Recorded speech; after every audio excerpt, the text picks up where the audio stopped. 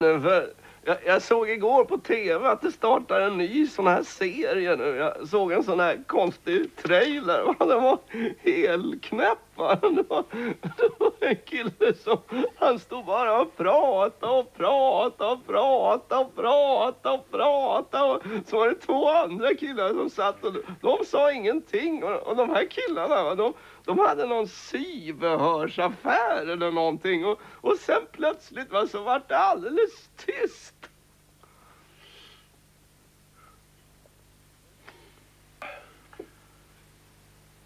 Den verkar skitkul.